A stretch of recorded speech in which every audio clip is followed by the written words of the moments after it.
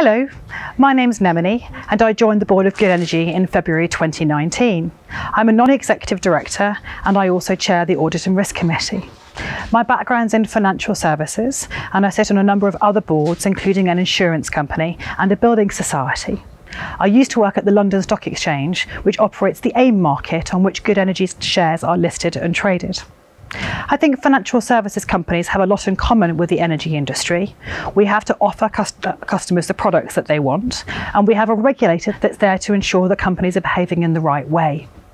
It's a real privilege to be part of the Good Energy team. We have such a clear purpose. The UK energy market is changing rapidly, and we are right at the forefront of a transition to a cleaner, greener, distributed energy system.